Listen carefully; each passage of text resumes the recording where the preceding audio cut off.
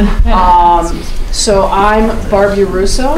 Uh, I am the representative for this area. Uh, Includes um, two-thirds of Shoreview and all of Moundsview, all of Arden Hills, and there's about 100 people in Spring Lake Park. So welcome for those of you that are from the other side. Hi, and I'm State Senator Bev Scalze, and I, uh, I'm so fortunate to serve in District 42 with these two great House members, Barb and Jason. We work very well together, and we talk a lot about issues. We like to hear from people in our district.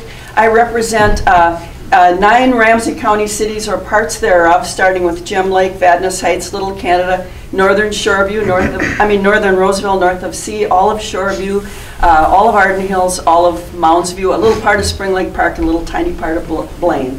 So it's all Ramsey County cities, so we deal very well with Ramsey County. And we have Ramsey County Commissioner here today, Mary Jo McGuire. Yeah, And you might want to just say that I represent Little Canada, Roseville, um, New Brighton, Lauderdale, Mounds View, Precinct 4, and St. Anthony Village, Ramsey County portion, and New Brighton. So there's another county commissioner, Blake Huffman represents the other half of the district. So I've got the Little Canada and Roseville and Mounds View. And thanks for coming And it's great to be here. Thank you for having this. I'm just here and you can talk to me afterwards if it turns out to be a county issue. Because there's a lot of intersection between these. So I've got my card, so if you want to talk to me later, thanks for having this meeting. Yes, We really and appreciate also it. in the corner, we have Council Member Ady Wickstrom in the very corner under the light. She I- works I just here. represent Shoreview. She works on the, at the, she's a long-term member of the Shoreview City Council. We work with her quite a lot too. So what we're doing here today is we want to listen to you. We're just getting started in the legislative session. So we want to hear your thoughts of where you think we should be headed this year. And we'll try and give you our insights if you have a question of something that we might have an answer for, hopefully. And I'm uh, Jason Isaacson. I represent the 42B side, uh, which is uh, northeastern Roseville, Little Canada, Vadnais Heights, and southern Shoreview. And uh, I'm very excited to eat, and I'm glad I bought enough donuts. So so I hope you eat them, because then I'll be forced to eat them, and I really don't want to do that. So, actually, I do, but that's not the And we will have cups shortly, so uh, we'll have coffee, donuts, there's juice there too. A couple of cups have made there, an arrival of Magic Yeah, I'm resisting stealing So- that from the council. But, um, we get desperate. Please, if you guys need a seat, come on in. Permission We'll- from the council. Yes. So anyway, we want to open it up to you. Uh, we should tell you which committees we're on. I'm uh, Vice Chair of the Senate Capital Investment Committee. I also serve on state and local government. I serve on environment and energy, and also a finance committee that is three large parts of finance. So we'll be addressing a lot of budget issues this year. It's environment, um, agriculture, and economic development. We call it jobs, hogs, and frogs. So we do a lot of work there with all those departments, and we will be looking at the governor's budget. So that's basically where we're at this year. What do you think of the governor's, governor's budget?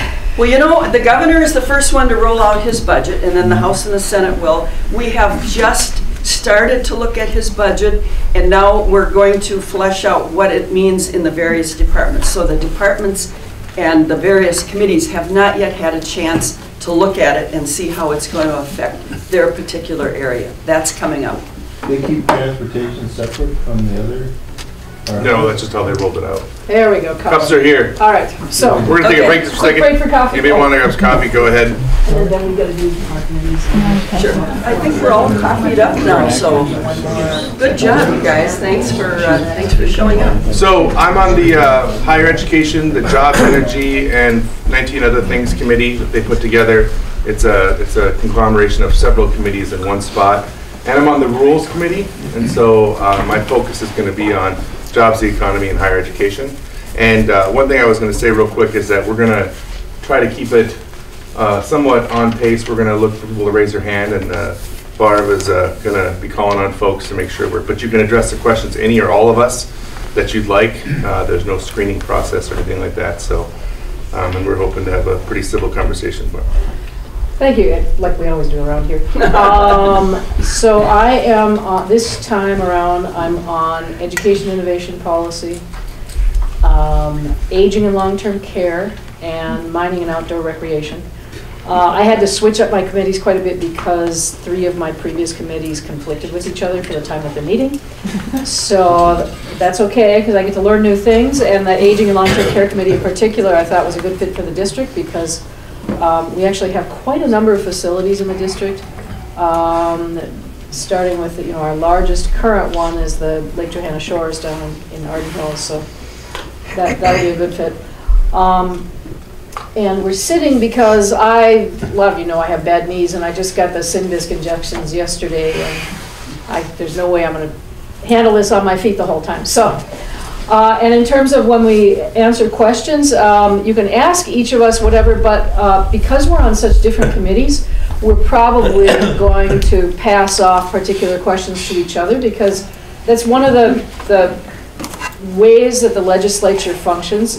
None of us knows everything about everything. Um, And so you develop expertise and, and a knowledge about what's going on with the issues based on the committees that you're spending the time on. You might have other things too, of course, but, um, so if there's a bit of tag teaming here, that's what that's about. And actually, today we want to hear from you, so, so when you raise your hand, we want to hear your ideas for this upcoming session, which is a budget session. The next year, we will have a bonding session, unless they can figure out a way to put the two together, but that's not up to us. And then, I just want to point out, my, I'm not playing video games over here. Uh, We did a, uh, we did a survey on, on Survey Monkey, and I've got the results here to kind of go through and look at and answer and formulate, you know, help inform some of my questions. So if I'm over here, I'm not ignoring you guys or on emails. Great. So who's got, who wants to start us off? Oh, oh, oh. She raised her hand. I had asked that question before, the, the separation of the bonding and the, and the transportation. Transportation that's bills will, bonding? no, not Or- necessarily, well, it's complicated. Okay, This go ahead. is so precious for Yes. them and for us. We all know about the railroads, the noise, the Yes. increased expenditure on track, on signals, the possible remote risk of explosion, blah, blah, blah, blah, blah. So those costs are pretty obvious. Is there anything in it for Minnesota having increased rail traffic? Um, Can we tax those guys or something? You know, wouldn't it be good if we could? Uh, The railroads are federal, Minnesota is sort of a pass-through state Uh-huh. with the oil from North Dakota going to Superior, Wisconsin. We do not, we do not gain anything to us. We feel like it's a detriment, uh, but it's America, it's a capitalistic society, and that's what's happening with oil and the transportation this Well, if there's so- any way for the state to weasel in there and get some kind of benefit for, Well, for our country and our state, that, The, the principal difficulty with um, dealing with any of the issues that arise because of railroad traffic is that the railroads answer to the federal government and the spirit of J.J. Hill, basically, who's, who cut those deals with the federal government a long time ago, and so they, the states have very little jurisdiction over rail traffic. if citizens want to elevate this then to the appropriate bodies, what do we do? So that's actually what I've been uh, primarily working on, is getting, the one thing we could affect were the quiet zones, uh, which we've been making sure, but they take 18 months to implement due to studies and uh, construction. But after that, and once we get that, those in, so there's no longer a question about those, then, then the next thing we got to do, and what I tell people that come to my office, is we've got to get uh, our voice up to Betty McCollum, Amy Klobuchar, and Al Franken. And I think that uh, engaging in uh, letter writing and really trying to organize and engage those folks as, as a unit, as a, as a body together would be the way to go. And I know there's been a lot of active citizens up in Shoreview that have organized and have a, a good listserv of folks. But I think that uh, once, once we're at a point where we've get the first set of things that we'd asked for, then I think we got to stand on that and now take and put the pressure up uh, federally. And not only federally, but also to the railroad as well. Okay, and then also, if we get off of fossil fuels, that would eliminate a whole lot of this Well, that certainly issue. would change a few So, things, my yeah. second question is, what's on the agenda for the state in terms of helping us get to renewable energy sources? Well, in the last session, we passed some increased uh, renewable energy standards. Those primarily affected um, electrical power generation. Um, We have a a fair amount of control over that uh, through the Public Utilities Commission, and and we set a lot of the rules for that. Uh, And we also have a a biodiesel standard that increased. So. I, we have, I I- realistically, I don't know, I doubt that those are going to increase in this current session. So on, on, oh, you want to say that?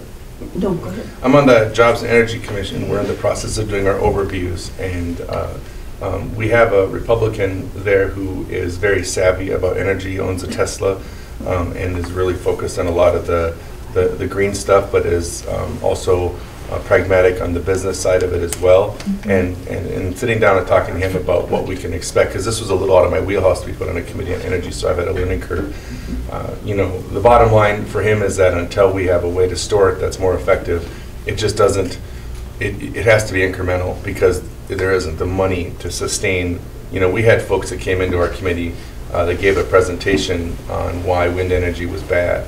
And so um, it was a little bizarre. And, and uh, what they were, their argument wasn't that wind energy itself is bad, but that it's really bad for the economy right now based on how, it- how it produces energy, when it produces, and when our, when our peak rates are, and that kind of stuff. And so there's got to be a thoughtful push that, that, that kicking and screaming or whatever we have to do drags our partners in energy with us on that rather than excluding. And that's kind of the, the struggle that's occurring right now is, tr- is trying to find where that tension lands. And, and Barb's right that, you know, the progress is going to be painfully slow, I think, uh, as we continue to find ways to make it more uh, efficient and, and frankly not as expensive to do it. At the same time, my argument would be, it seems to be more expensive long-term on our, on our environment not to do it, but uh, we have to be pragmatic, and that's part of having a split government.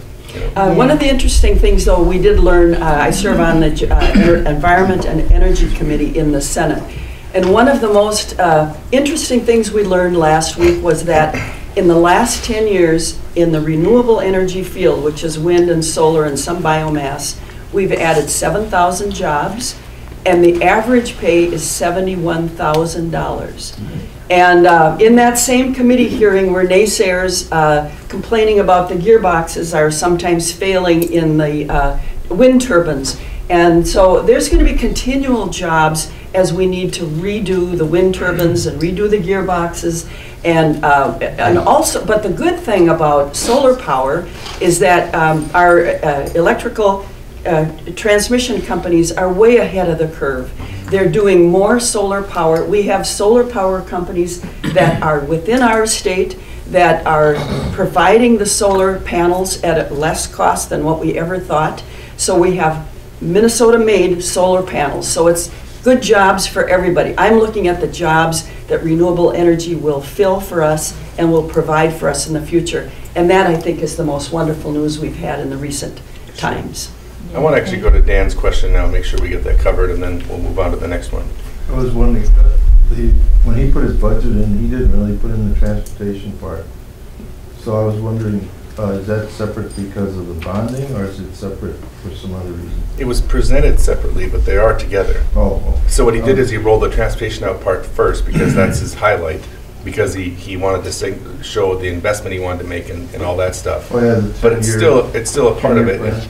His focus is mostly on a 16 cent a per- a gallon tax increase on ta, on, on, on gas, and then a Metro-wide sales tax, uh, to be, uh, um, for transit and, uh, and to, for the, you know, and so there's, a cou- that's his primary way of funding it because he wants to spend six billion dollars. And the, the real catch or problem is simply this. uh, Regardless of who's to blame, we have neglected our transportation system woefully. We have focused it in ways that don't make it the most effective, especially when we look at our fascination with highways and not looking at other transit options. And then at the end of the day, now we're stuck with this incredible fix just to maintain it and to bring it back to being a- an acceptable area. And in order to do that, we have the reality of having to raise uh, gas taxes 16 cents a gallon. And now while gas is low, that is absurd uh, and not possible. I don't think it's feasible. I don't think it's ever. Isn't it better to do it now when it's low? I, I wouldn't disagree with you, but, Yeah. but the problem is, is there's no turnoff switch.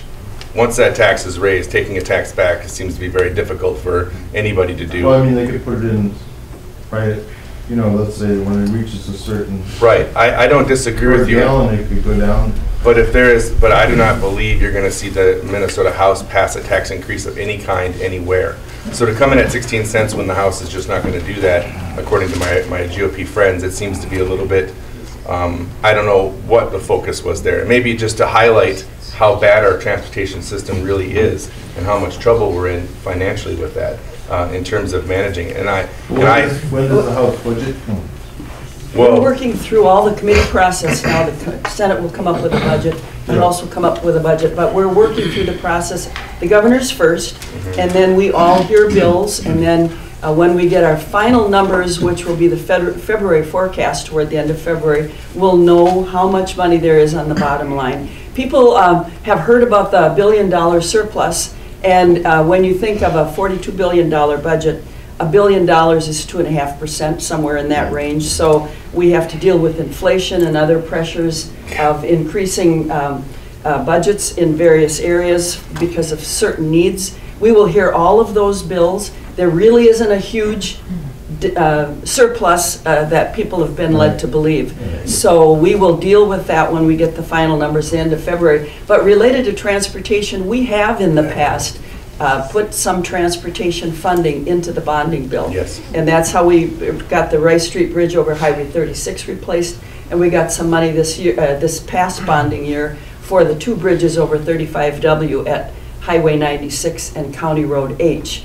And uh, from what I'm hearing from other uh, legislators, there will be more requests for bonding for transportation, and we'll flesh that out. Uh, Right now, we, we use about a fourth of our bonding bill, which, uh, which was a billion dollars last year, about a fourth of that went toward uh, colleges and universities, but some went toward transportation. And that's what's going to happen this year, is, is the, the big debate about how much of that bonding bill will be for transportation. We may have a small bonding bill this year. one last thing, the, the, the, the Metro-wide sales tax, we have been uh, talking about also, um, I am opposed to, uh, until they can show that equity is being done the way it's distributed. Uh, We tend to be taxed on our side, and the money is spent on the other side of the, of the metro area. And I, I just simply uh, won't support any type of increase that spends our money elsewhere. Uh, And Barb can maybe speak a little bit more about the bill we've co-authored. Your, Well, um, we are, we dropped a bill that we worked on last time also to require the Metro-wide sales tax for transit to be spent um, forty percent in the east side counties, because that reflects the population fraction that we've got. yeah. Um, I don't know yet if I'm getting a hearing on that or not, but we've, um, we've been trying to keep working with a coalition of people in the East Metro to make sure that we, we keep these issues kind of on the front burners and people don't forget that we're there and we're working on it and we're interested. um, And and because of our work, we got TCAAP and Peter's stuff Oh, over yeah, there. You know, I think yeah. that's important to highlight. We also, um, by, by being the squeaky wheel, um, there's a bus rapid transit line that's gonna go up Snelling to Rosedale. And they're actually gonna start construction this year, so you're gonna see that actually happen. Uh, The target, they're targeting to open it by the end of the year. Um, That would hook up Rosedale with both the Green Line and the Blue Line, uh, which really expands the mass transit capabilities in this area. Well, anyway, I um, have gotten them to uh, to do a study of extending that someday out to the TCAAP. And, you know, what route that would be and whatever, that's all up in the air yet. And whether or not it would even happen was gonna depend on what that development really looks like and whether the ridership is there. But one of the reasons that this ties into the equity piece, that this is important for the whole region, not just for us, is that Arden Hills in particular has literally more jobs than people.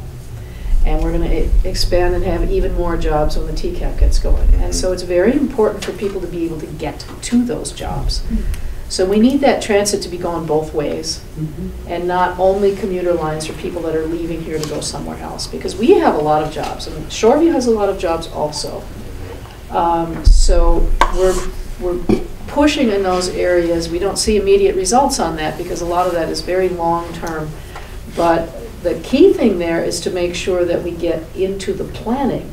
Because if we're not in the planning for it, then it's never going to happen. So we've Sure. made some progress on, on making noise on that stuff. This gentleman here is next. Uh, First, some thanks are due, quite frankly. Uh, I want to thank Senator Scalze for all the work she's done on the 694 corridor. You know, it it takes... These two have helped with Yes, that, yeah. it- It takes continual pressure. We've had a freeway that's only two lanes wide for the last 30 years, while our population's doubled.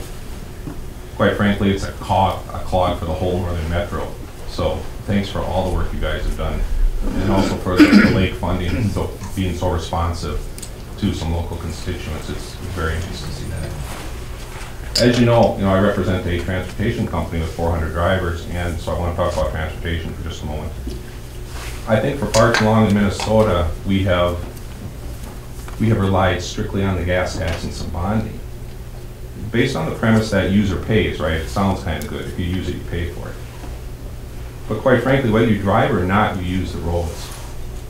Okay. Whether you're someone in a nursing home, that's how your medicine gets delivered.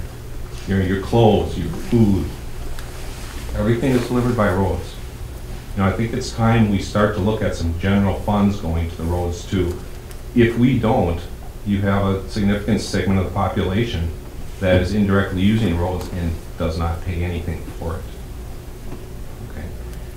And uh, that gas tax is, you know, I'm also a member of the Minnesota Trucking Organization and Association. And although we're not opposed to a gas tax, a 16 cent gas tax increase is monstrously huge. It's fine at a dollar ninety-five, you might think, but man, you know, it's not gonna stay there for long. It's gonna be 350 again, it's gonna be $4 again. And then you know who you're gonna affect. You're not gonna affect um, wealthy people. You're gonna affect people who are in their small cars commuting to a job. I mean, you know, middle class and and lower income people, and that's one of the most regressive taxes you can put in place. So if you could, please remember some general, general funding principle on transportation, because absolutely everybody uses it. Seventy-five percent of the towns in Minnesota get all of the by trucks, vans, and cars. So even if we wanted to do, rail, you know, people think we can do rail to a lot of places, you cannot. Rail gets you to big distribution points, and then everything relies on the roads and the cars and the trucks, which are, will forever use fossil fuels of some kind. If you really wanted to help the transportation industry and the fossil fuel, you could look at um, natu- fast fill natural gas fueling station infrastructure. Because quite frankly, we've looked at burning natural gas in our, in our trucks, which takes the carbon footprint down by half. We'd love to do it. There's only two fueling stations in the metro area, so we can't do it. It's a little bit the chicken and the egg, right? And, but a, a private company, a private small business can't invest millions of dollars in trucks if there's no fueling stations for them. This could be a classical case of if there's any sort of an infrastructure improvement um, pushed. And- And California, for example, California has incentive to motor carriers to buy hybrid and natural gas vehicles. So you're starting to see in California, a lot of the trucks will burn natural gas, and it'll help everybody. But right now, a natural gas truck costs forty thousand dollars more than a regular diesel truck. A lot of money. Do you get that money back if you were to go natural gas by buying gas is cheaper? Um, right now, it's completely unknown because the resale value of the truck is completely unknown. They- They're so new, What about the price of gas just when you're buying it? not anymore, not at, two- not at, not at the current price of diesel. Yeah. So please, if you could remember some of those things about transportation, please do.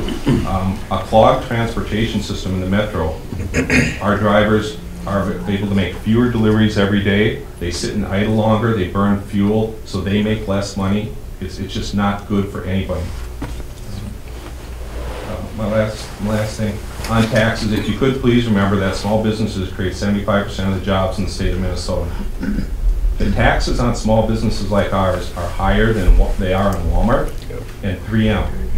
There's just something fundamentally wrong when, when we're paying higher taxes than those kind of companies. And quite frankly, we're not international. We can't shift our income around and bring the effective rate down. You know what 3M told Senator Box said, you know, we don't care what the state income tax is because our effective rate is 12%. Because they, you know, Right. they, they move their money around with cost shifting. Minnesota-based companies cannot do that. Mm-hmm. Okay? Mm-hmm. So we pay nine point eight five percent on what we earn. And we can't hire people because of that. Yeah. I had a question when I was talking to somebody the other day. What typical kind of detour, you know, in length do trucks have to make for those bridges that have weight limitations posted? Oh, boy. Um, I mean, I You know, it just- depends on the location, but Yeah. let me give you an example when the thirty-five E bridge was down, uh, thirty-five W bridge was down, because it's kind of the same thing. Here's a bridge you can't go over now, right? We have so many rivers in the metro area we don't have enough bridges sometimes, quite frankly. And with 35E being cut off to truck traffic, you know, the trucking associations wanted to say, while the 35W's bridge is down, Right. let us take some trucks over 35E for goodness sakes. We've got two main, couldn't do it. So sometimes they have to go 30, 40 miles out of their way to get to the next bridge. That, that's about what I was guessing, 30 Yeah. miles. And I'm sure in some of the outstate areas it might be, It's, it's Worse a, than that. Yeah, it's a big deal. So, you know, transportation and taxes are really important to creating jobs. And um, And you don't have any of those big trucks, though? I- certainly tractor trailers, The yes. the extra heavy trucks Um, that were? No, you, you may be referring potentially like the sand haulers. Well, I think what happened last year was there was a proposal for a Menards, um, sort of a distribution center in Perham, Minnesota. And so the truck limit was increased so that these extra heavy trucks could go. Okay. But that was eventually built in North Dakota, so, but, so that is not in play, except that this law is still on the books, the extra heavy trucks. But they can't go over the freeway bridges, so then they use uh, local roads and bridges Yeah. because of the law. And that'll start happening because, you know, Amazon is going to be building a massive warehouse in the southern part of the metro area. So those big line haul trucks, you know, where they'll put multiples together are going to start flowing in and you get to the same issues. so the roads they, they would be looking at are things that are labeled as state highways. So Snelling is a state highway. Matamidi Avenue is a state highway, you know, things like that. So it sounds okay when you think, oh, it's a state highway, okay, you know. But those are actually local roads that go right through towns. um, And they're, you know, they're part of the state highway system, but that's just about who maintains the road, not where it is. So those are my biggies, And taxes so and those- transportation. And, and just so you know, there are a lot of people pulling for you guys to help us with the whole northeast water problem, to get us on St. Paul water, quite frankly. Because with Shoreview taking a million gallons of water a year from our aquifer and every city doing the same thing, it's just not, not sustainable over the long term. And we are in frequent communication, you know, we're talking with our cities.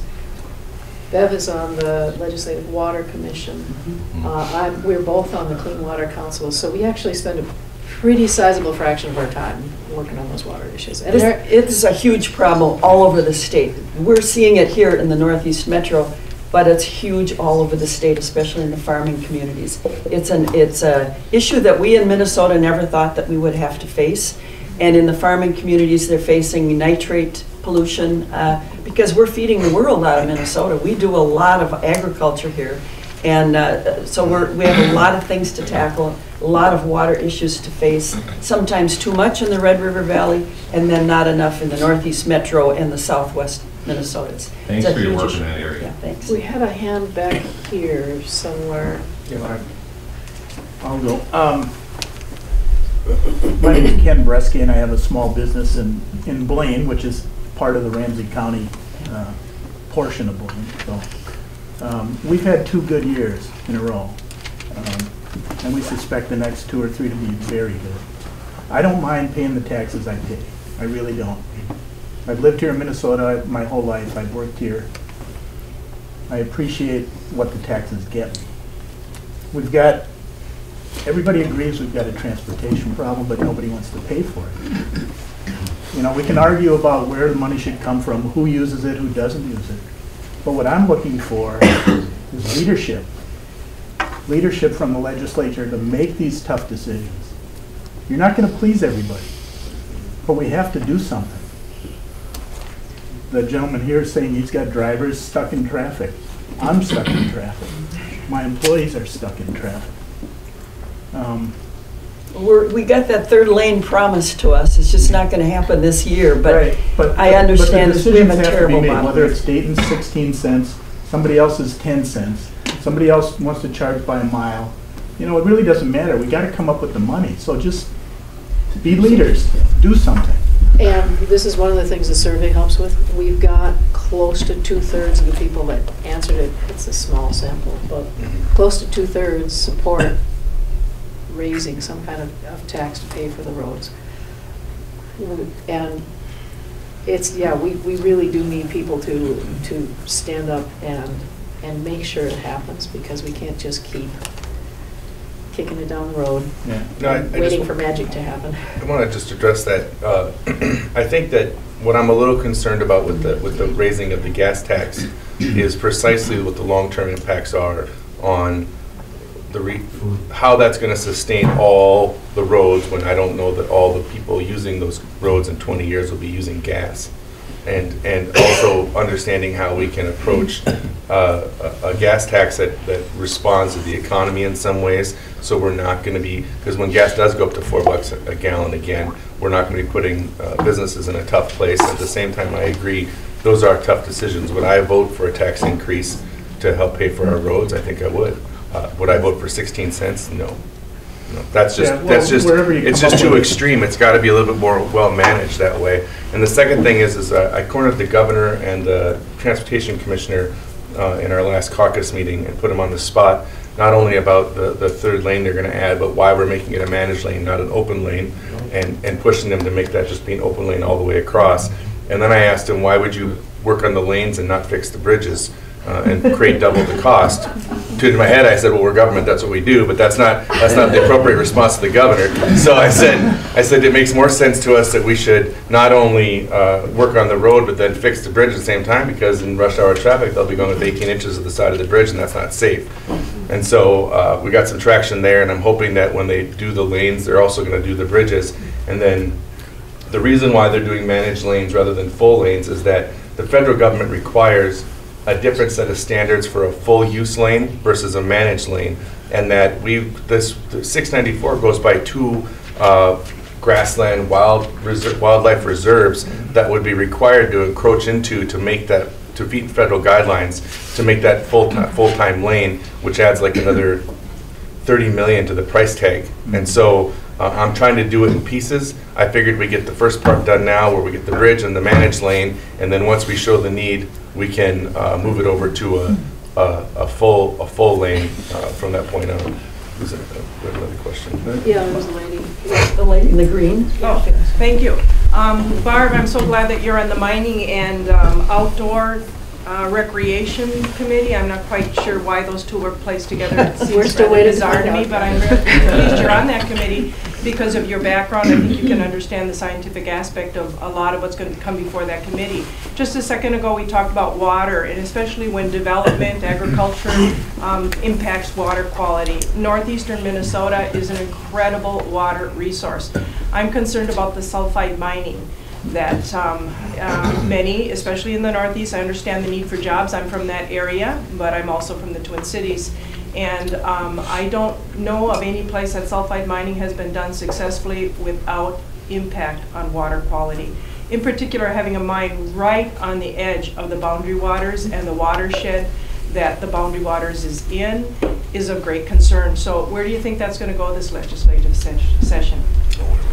Well, um, the ball's really kind of in the DNR's court on whether it gets permitted or not. It's possible for the legislature to take some kind of action that would impact it. Uh, But exactly what that route would be is not particularly clear. Okay, so um, there's that. So, but we're having these informational hearings. So on, last week we heard about frac sand mining. Tuesday, we're going to hear about copper nickel mining that you're talking about. Wednesday, we're going to hear about iron mining. So we're going through these, these informational hearings.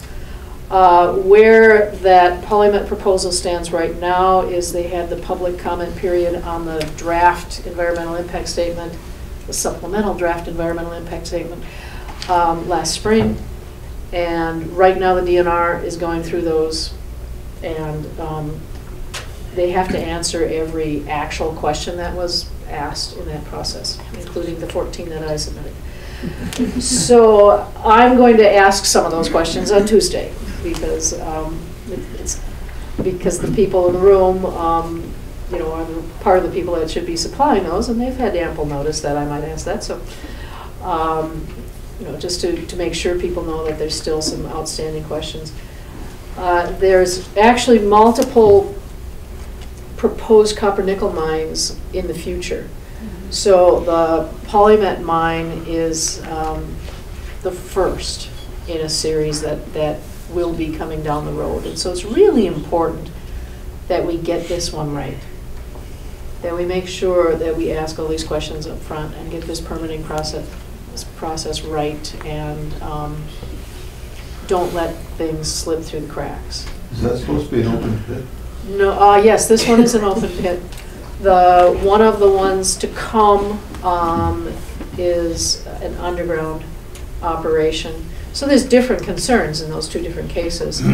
Um, The, the Polymet one is an open pit, but it's on the superior side of the watershed boundary. Uh, The other, the underground one is on the Hudson Bay side of the watershed boundary, which is a potential particular concern because that puts it in the, the boundary waters watershed. Uh, But that was the underground mine, and they're not planning to do the processing that's of the biggest concern for water issues. They're planning to do over at where the the Polymet site is. So they would be um, shipping by truck or rail between those two locations. Um, I don't remember which it was. So there's, there's slightly different concerns in these different ones, but there's of course some common concerns. Uh, The reason that copper nickel mining is of greater concern than iron mining is, as some people call it, sulfide mining. Now, when, when you get metals out of the ground, you don't get them as, as bare metals very often. You know, sometimes you find stuff that you can just use right away, but usually they're tied up in rocks as salts. And these copper and nickel ores that they're looking at, it's copper sulfide and nickel sulfide uh, that are involved. And that there's two concerns about the chemistry of that. The sulfide part is a, a concern because sulfide salts on exposure to water and air can turn into sulfates. And that in turn can generate acid, the, uh, the chemistry of it. And those, uh, just as you're concerned with acid rain, you'd be concerned with acid leaching into the the waterways and whatnot. It has a lot of biological concerns, you know, for fish and plant life and all sorts of things. Um, The other concern comes from the fact that copper and nickel salts tend to be much, much, much more soluble than iron salts. And so aside from the sulfide concern, um, if you've got copper and nickel uh, salts of any kind just being spilled out there in nature, I would worry about it a lot more than I would with the iron stuff, because the iron, the iron salts are, it's, it's rust, you know, it's, it's not that big a deal um, in most cases, but the, the copper nickel potentially is larger. So there's a lot of specific questions about this specific kind of mining. Some processing chemicals and whatnot that are involved also. So So if you, if the hearing is next week, if you have questions about that, these hearings are open to the public. And this one will be at the state office building, so if you know the time, I mean, if you want to go. Yes, so it is at two forty-five on Tuesday in room ten. We're gonna have a public comment.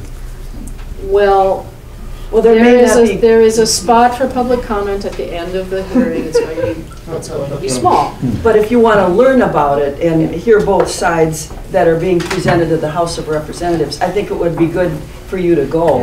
Yeah. And, uh, because you're hearing from Barb the chemistry of it, you're going to want to hear from the mine proposers, uh, and we always want to hear from the financial part of these mines, because that's who has to pay if there's uh, environmental damage. So I always look at Glencore Xstrata, if you want to look them up on the internet, that's really who uh, runs these mines all around the world. So um, Polymet is just a little company that, in my mind, as I've watched the the Iron Range area work, um, they sort of go out of business and then uh, the taxpayers pick up the tab. That's what I've seen happen in these small towns. So And you should go there. Polymet though is no longer owned by Glencore Xstrata, isn't it now entirely Chilean? Yes. Antofagasta, I think, bought them out. Yeah, but, you know, but what you get are these, what ends up being shell corporations. you know, that are wholly owned by somebody else, but it's its own separate deal, and so that affects the ongoing liability. Now, the hearing, this hearing might very well be televised, because I'll look into it. they, they, they pick the controversial ones to, to put the TV cameras in, so, um, it- it's, if if we were televised for the frac sand mining, so I would guess they were probably gonna be for this one. Right. Well, we have a whole tourism industry up there that we shouldn't sacrifice. And a lot of those questions were introduced. We were both at that hearing that they had at the River Center. It was quite extensive. There was probably 1,500 people there, lots of questions. And then we both did put in our own questions uh, that they- that the DNR has to look through as they do their supplemental draft environmental impact. Now, you know, Minnesota has some more stringent processes than some of the other states, and so we- we've seen this on the frac sand mining, that, that in Wisconsin, they've kind of um, gone, this, you know, they've gone whole hog on it, so it's one of the things that's different here. We've got a lot of hands going up Yeah, here. this young man over in the corner's been waiting for a while. Hi, uh, Why don't you give us your name and tell us where you're from? my name is Tyler Newcomb and I'm from Shoreview. So, um, I agree with Representative Isaacson, uh, back to transportation. Um, roads and bridges have been more of an afterthought last session and, I mean, we have differing opinions on why that may or may not be. But, um, clearly they need to be fixed and part one of my question is if you guys are gonna be willing to work on transportation issues that benefit the plurality of the people that you represent or a specific group. Um, Can you be specific? Um, well, light rail and things like that, um, That's not funded by the gas tax, first of all, just so you know. No, no, I'm, I I was addressing last session, the bonding bill.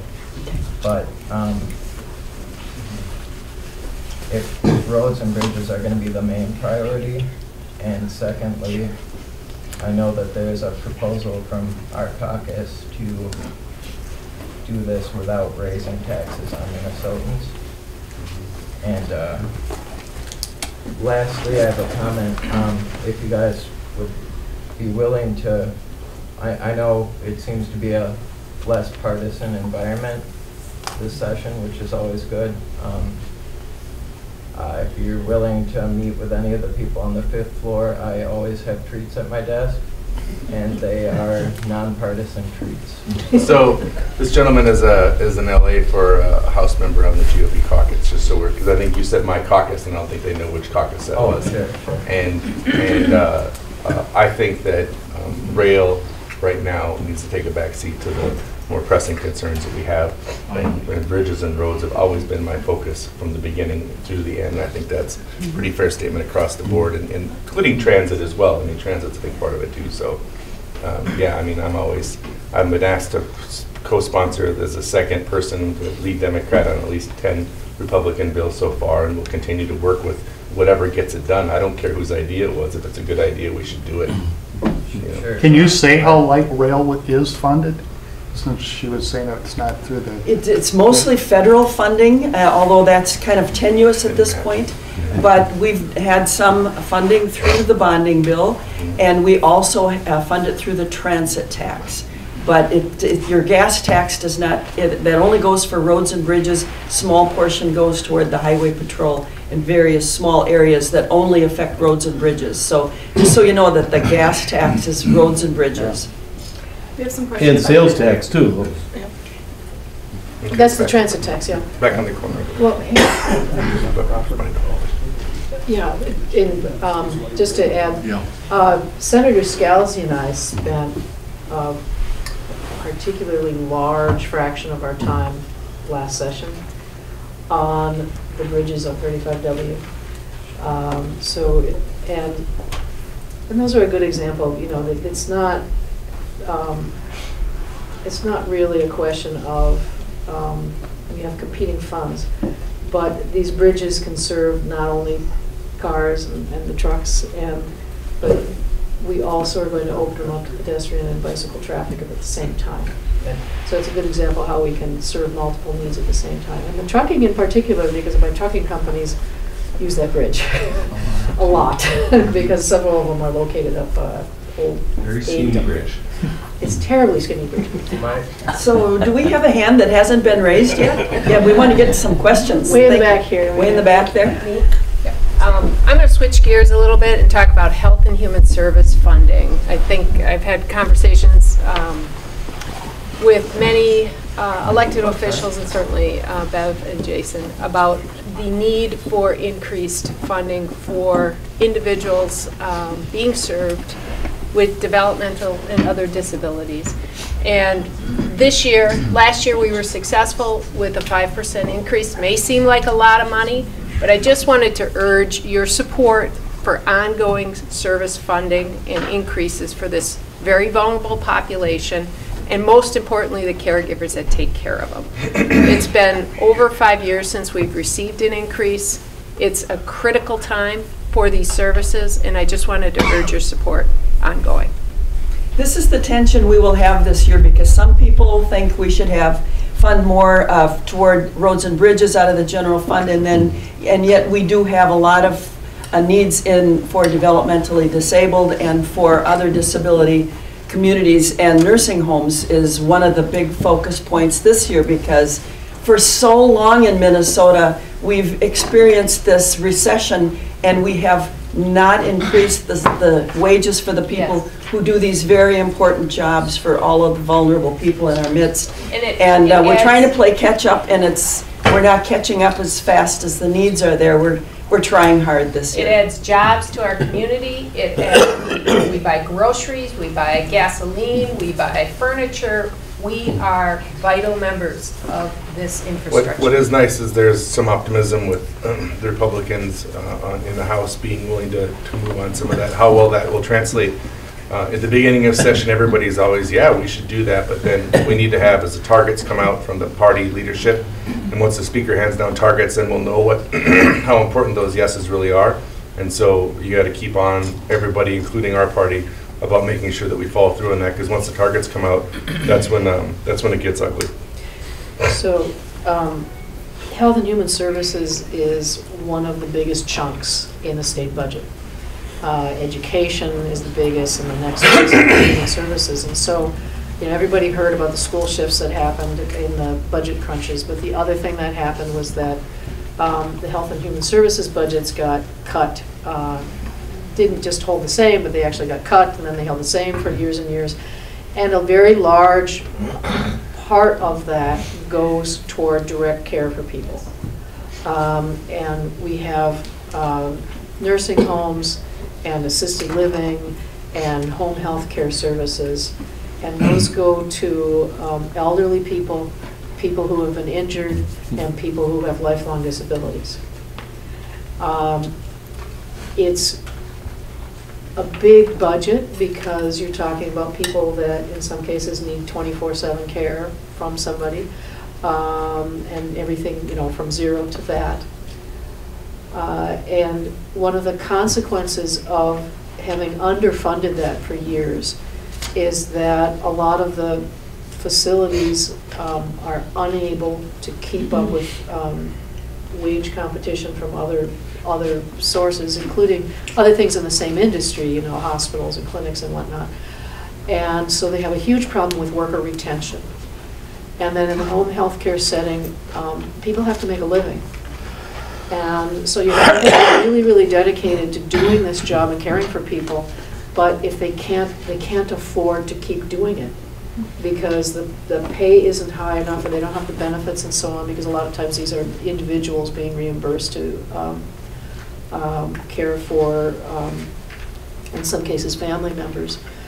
But um, you drive people out of doing those services because they can't afford it. They can't feed their own family and, and pay for their own health insurance and that sort of thing.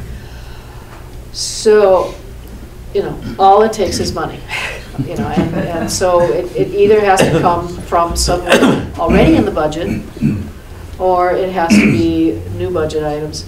And the problem is, the only thing, the only other pot big enough to take it from is education.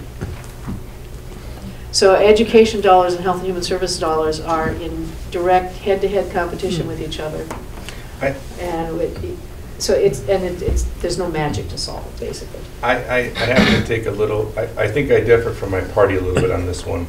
Um, And having looked at line items and how money is being spent, uh, I think there are efficiencies, issues going on in our system. And, and there is no doubt, let me be very clear, there is no doubt that, that, that I believe we need to pay healthcare workers more. Don't, don't think I'm in any way waffling on that issue. My concern is, uh, when I look at the way the budget, and you have to go back to Pawlenty to really understand where some of this problem starts. Pawlenty, uh, while I may not be the biggest fan, was handed a pretty impossible task while balancing a budget and a real no new taxes environment. And one of the issues that we ended up with was a lot of line item moving around to balance budgets without actually solving or helping the process of healthcare. And, and so my issue is that when we look at uh, people that are in a situation where they can get respite care, which is care that comes into the home four or five times a week versus someone that has to go into a home, and then, then we're paying for them that way. And, and how are we man, how well are we managing the way we spend our money? Because respite care is infinitely cheaper than, than having to have someone that goes into a home. And the responsibility is more far greater uh, for, by the state. And it really takes away from the person's ability to live freely within the home and their family if they want to. And, and we've done, that's just one small example of how I think we haven't managed that very well and, and how we, and, you know, we could even get into the spend down if we want to, which is another disaster policy by our government. And so we need to see some fixes there. And I think that when you do that, then you can be paying the right people way more money. Uh, and so I'm, I'm a little bit leery of just uh, some of the approaches I'm seeing so far. I think that there has to be much more thoughtful, and there's got to be some, some intelligent reform. The- the- And I, and I'm really fine, walking a fine line here between the GOP and the DFL, so I want to be clear about something. Intelligent reform, and we hear people talking about efficiencies, and we hear people talking, talking about teachers and, and how we're going to approach that without the politics in it. The problem is we get the politics into these reform issues, and now it becomes a pet project. Intelligent reform of just what is the best healthcare system we can have, and how can we manage that without allowing the extreme right or the extreme left to dig their heels in and make a big mess of it, which is really what we have. And so uh, that'd be my that'd be my instinct on that is find ways to make healthcare more responsive to people, giving them more personal choice in their homes. We got another- Oh, this gentleman right here in the middle had his hand. Yeah. Yeah. You mentioned education as being the biggest pot of money being spent. Um, I've been in Minnesota for about 28 years now. Every year, the headline is, education underfunded, we need more, need lower class sizes, and just, you know, need, and now with Mounds View, population is going down, so we need more money uh, because state funding goes down or something like that. My question is, we've seen Minneapolis spending twenty-one thousand dollars per student and having a fifty percent failure rate. St. Paul is seventeen thousand. And I don't think their failure rate is quite as high. But nonetheless, the money being spent on education on a per-student basis has skyrocketed. The results have at best been flat, if not going down.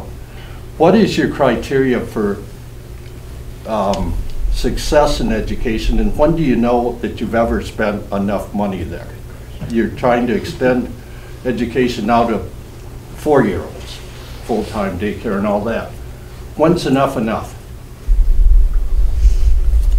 Well, that's kind of been a mantra from some people, when is enough enough? I guess, uh, I always say, you know, we have 17 Fortune 500 companies in Minnesota, more per capita than any other state.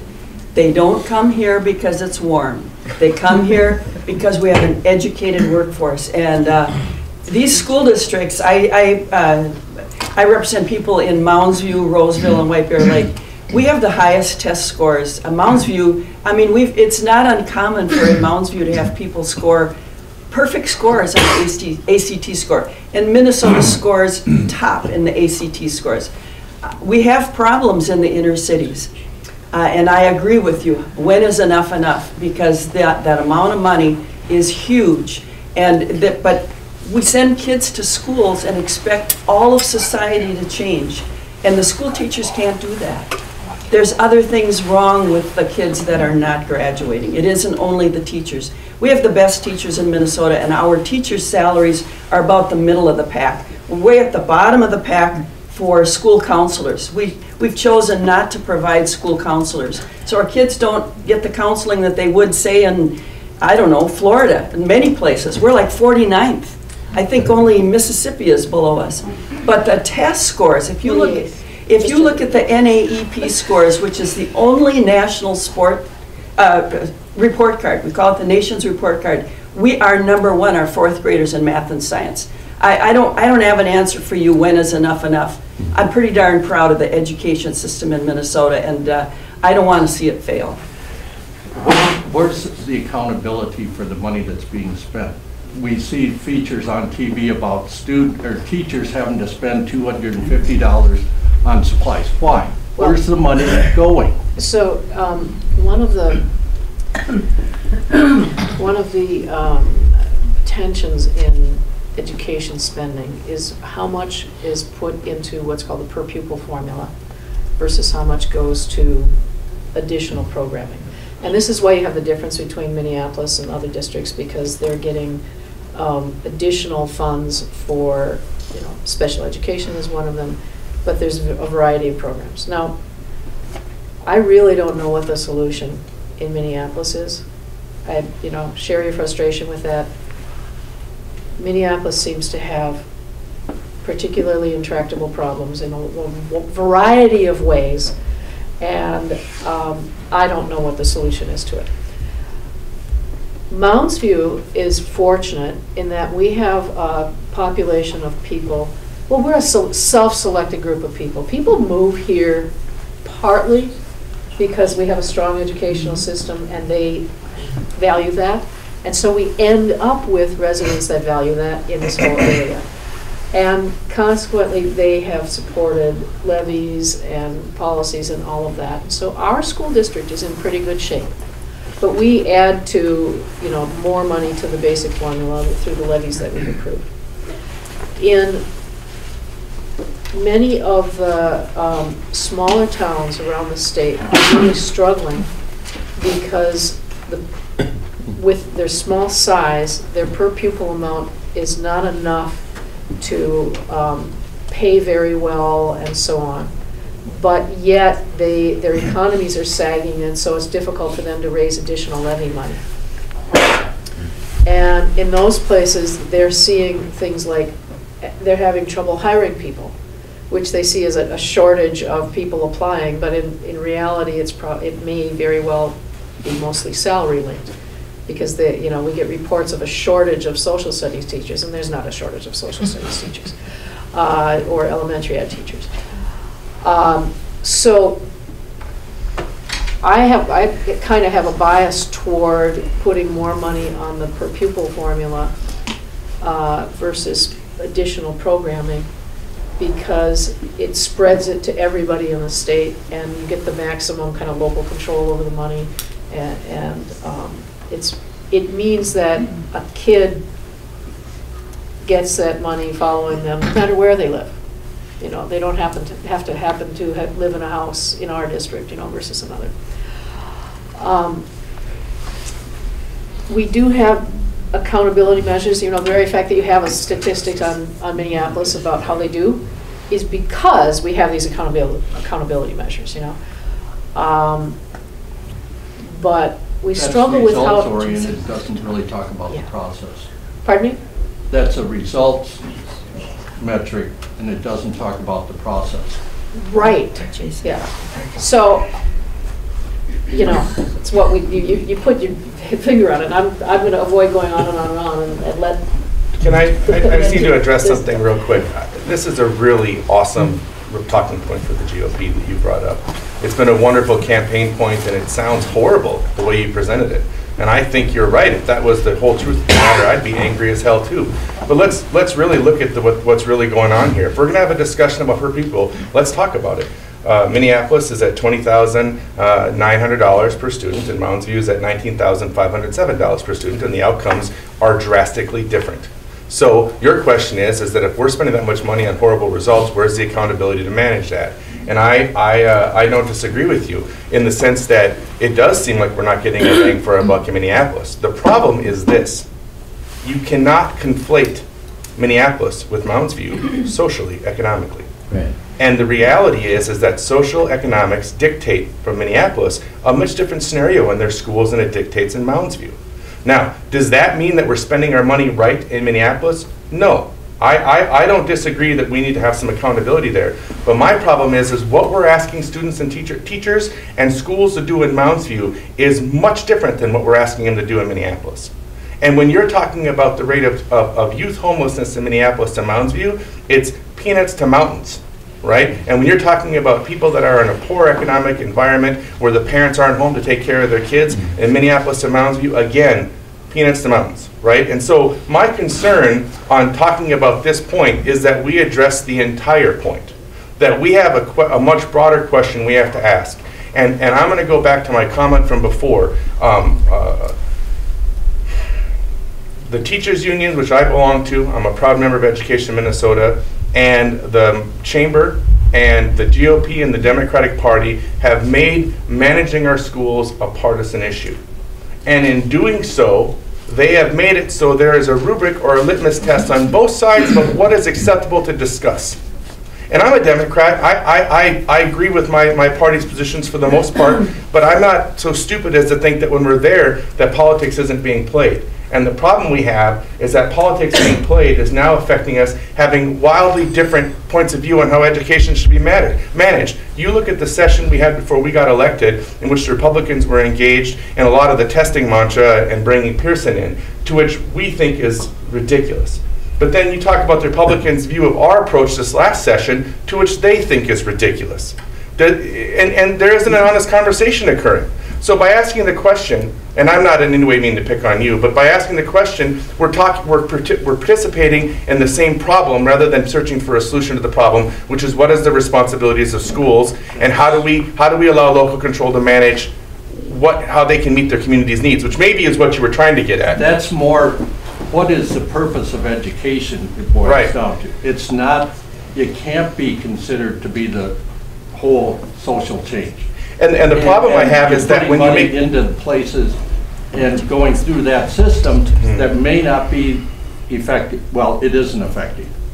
The- The problem I have with the, with the way the question is, I've faced this before from my other uh, GOP friends, uh, and I have no idea what your partisan background is, but is that when you say $20,000 is being spent on students in Minneapolis, where it's, the, the state average is 13,000, why do we have this waste without the results? That's not comparing apples to oranges. We can't compare based on just a glib dollar amount and a location that we have a predisposed notion about their socioeconomic status. Each district has its own needs. Look at what Mounds View did uh, in, in, the, in, the, in the breakdown when, when we had the recession. They did some amazingly innovative things, but why were they able to do that? Because they had amazingly engaged parents who took part in the process and worked with the school board and other things to make some really innovative changes in how they did things despite losing money.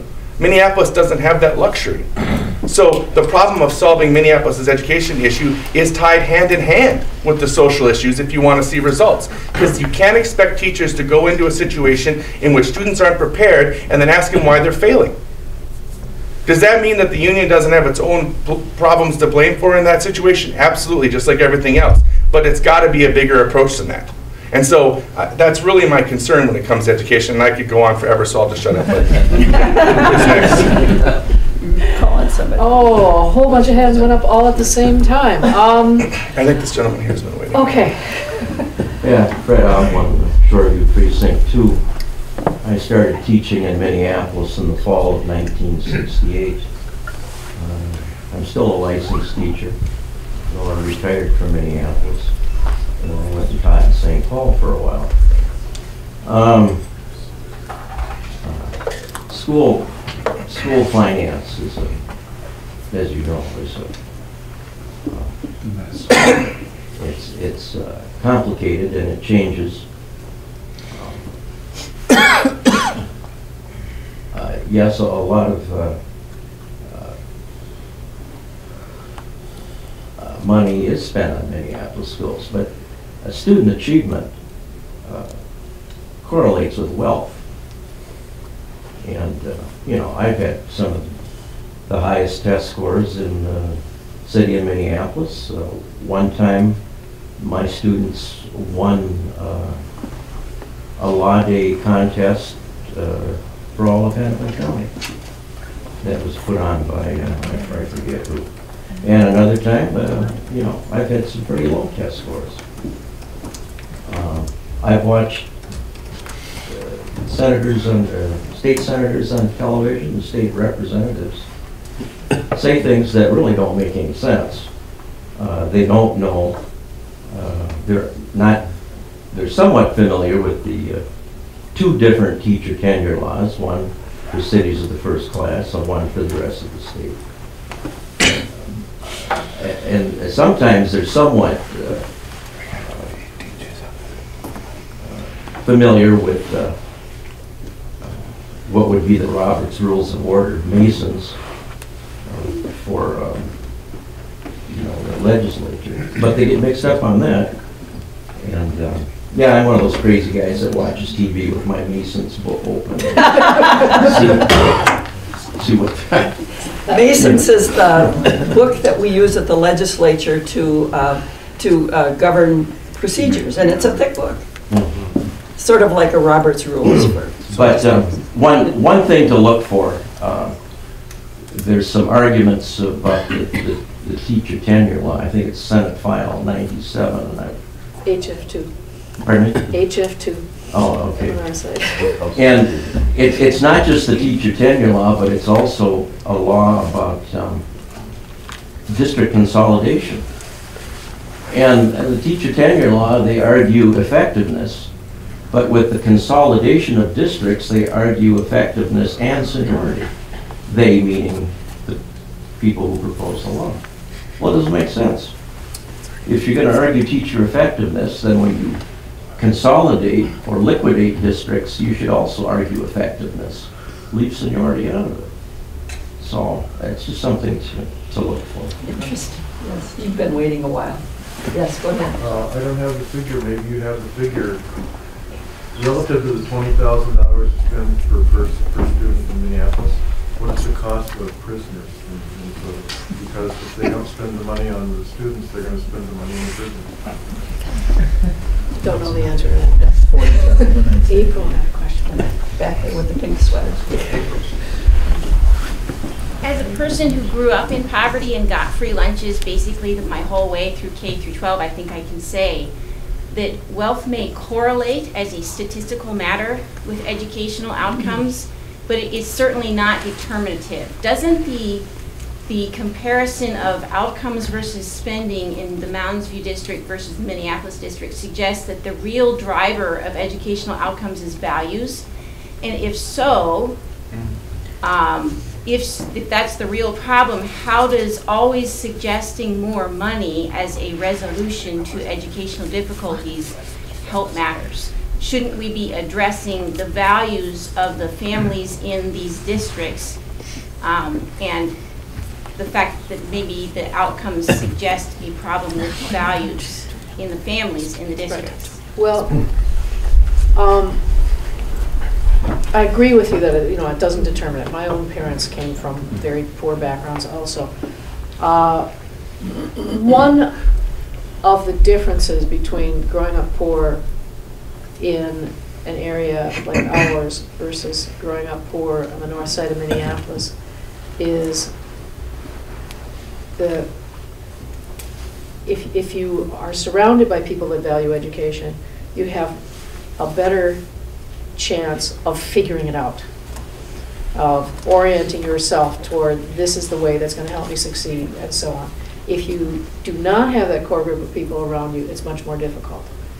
Also, uh, you know, we can't, we can't, you know, I don't have a legislative way to reach into a family and say, this is what your values are supposed to be. And so, and, and I don't believe in always just putting more money, you know, I mean, and, and there are ways we can try to, you know, we- should be finding the programs that work, the programs that have real outcomes. One of the things we really haven't done in our whole accountability system is to plot those results versus things like socioeconomic indicators and look at the outliers. Because there are districts that do well in spite of their circumstances, and there are some districts that do even more poorly, you know, with those circumstances. And we don't learn a lot but from all the districts that are just on that line that correlates um, outcomes with socioeconomic indicators. But we could be learning something from those outlying districts, and I don't think we've done a very good job at that. We've been focusing on just punishing the people that are below whatever the standard is. And we haven't really looked well at that sort of thing. Um, the other thing that gets lip service here, but we haven't done anything about it, is we have 97% um, of our teachers in Minnesota are white. That doesn't reflect our kids in the classrooms. And, you know, people will push back about that and say, well, what difference does that make? A good teacher is a good teacher. And I agree. It's not about the quality of the teaching in the classroom. But one of the things that that does is that if you're a poor kid of color, you don't get to see those role models of people who've made it into professional careers. Because if you live in a really poor neighborhood, there's nobody in your neighborhood with a professional career. Because they wouldn't live there if they had a, a good job that paid good money and they could afford a better place to live. And so who do kids see? You know, for careers. Think back when you were a little kid. What, what, you know, what careers did you know about, right? Well, teachers are one of the few professions that kids are in contact with on a daily basis. You maybe go to the doctor once in a while, but the doctor is, you know, this sort of mythic figure that you don't, you're not going to think that you can get there if you've never seen it, you know, there's no one around you that's ever gotten there. But a teacher is in contact with the kids every day. Now, that doesn't mean that every ki kid of color needs to have a teacher, you know, of color. But if there's nobody in your whole building, that says something to you. That says, people like me don't get to do that. And so that's something we really need to work on. And we, um, we haven't, you know, there's been, there's some outreach and some attempts, but I don't think we've, there's been any really dedicated attempt to do that, and that's something I'm, I try to talk to. Yep. Uh, we had a whole bunch of. There's, there's somebody over there. Yeah, this guy on the end had his hand up in that last batch. Sure. Uh, well, I'll apologize. My uh, topic seems kind of petty when we're talking, you know, ISIS and uh, terrorism in France and education, transportation, and a lake that's being empty in White Bear Lake. But uh, every other day I pick up the Star Tribune and uh, the legalization of alcohol sales on Sundays and front page. And I just can't understand that with all the other problems. So if you'll, if you'll let me take five minutes of your time, I'd appreciate it. I'm a, I'm a small liquor store owner. Um, and I just kind of want to go back to the beginning on this. Where the demand came from for uh, the legalization of selling off sale on Sunday, there weren't consumers at the Capitol with pitchforks and torches saying, we need you guys open on Sunday. It came from Discus, which Discus represents Smirnoff, Bacardi, all the large manufacturers. Seven years ago, I was at the table when Discus was going state to state trying to uh, repeal these blue laws. Uh, so remember, it didn't, it didn't initially come from the consumers. And then we'll take this state fair poll that, you know, 63% of consumers are for it. Well, let's, at, let's look at how the poll was, what, how the question was asked. I can't believe it wouldn't be higher if you asked, would you like liquor stores open on Sunday? Of course, why not? But if you put the question, would you like liquor stores open on Sunday if it hurts small businesses? I think your poll results would be different. And I have people every day come in and ask me, you know, what do you think about this Sunday thing? And I'm like, as I can see, it would be good, you know, consumer for choices. As a small business owner, it's going to hurt me. My taxes stay the same. My my rent stays the same. Everything stays the same. But my biggest chunk is payroll, and consumer consumption of alcohol is not going to go up if we're open on Sunday. Who's going to drink anymore if we're open on Sunday? Not very many people. yes, a little bit, but it's, I'd have to have a fifteen percent increase in business to cover my payroll costs for being open another day, and electricity costs. If, if, why wouldn't all liquor store owners be chomping at the bit and at the legislature trying to get this passed if, if it wasn't good for our business? There's a small majority of people, the Chisago Lakes, a few of the border cities, not even everybody in, in Mr. Reinert's district are, are for this, in Duluth. Um, you know, I gotta look to you small businesses, as this gentleman said over here, we employ, seventy-five percent of the workforce? We pay higher taxes, we're under siege by Costco, Walmart, Total Wine. I mean, we're kind of the last of the Mohicans here. We're, having us open on Sunday, a lot of us are gonna struggle and go away. Uh, let's see here, one other, one other quick note here and I'll get on to more important things. Um, I had one more point here. Well, the other, you know, one of the things that, um, one of the things that, um, some of the folks are saying, well, government doesn't want to control, you know, the hours and, and what businesses can be open. And I said, well then, okay, I want to have a bla, I want to open at midnight on Thanksgiving and have a Black Friday sale. And then they're like, well, no, you can't- can't do that, it's alcohol. Well, that's a double standard. You know, you're telling me you don't want to control my hours, but then you're saying I can't have a Black Friday sale. So that, that doesn't work either, but I, most folks say it really isn't that much of a hardship having us closed on Sunday, is it? Not at all. You know, I'm Depends on where you live. I'm gonna just address this, that I absolutely positively don't care about it myself. I, I, it doesn't matter to me. I don't even drink, so it doesn't affect my world. Uh, but what I will default to is the businesses. And, and when I talk to the local businesses in my area, what do they want to have happen? Because it directly affects their lives. And I know that most of my, my liquor stores are against it. And not only that, but I've got some pretty responsible liquor stores in my district. I have one that serves the disabled community by renting out at a very low price the bottom half of their store for work uh, over here by Taco Bell on, on, on off of Rice Street. And they do wonderful things. And so my, my goal would be to support the businesses. And if my businesses are against it, I don't know why I would vote for it. And, and Well, there's, there's they say, twelve, there's only twelve states, states. there's twelve states, states that are like Minnesota that don't allow it. Yep. There's only twelve states, so I think that has a little bit to do with it too. But, but I think, you know, maybe other states should look at us. Maybe we're doing it right. We're keeping access out of grocery stores and convenience stores. We're keeping it out of kids' way. I don't even have anybody under 21 coming into my store.